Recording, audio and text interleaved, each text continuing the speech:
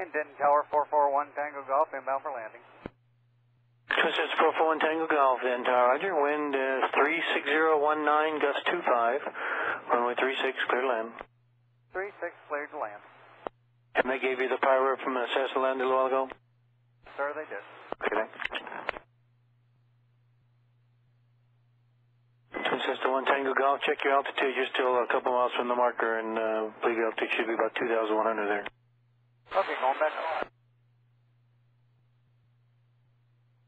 Yeah, one Tango, if you're still uh, about a mile from the uh, final approach fix, should be crossing there at, I think, 2,100. Or New Lux at 2,000. Consist of one Tango Golf Tower, right here.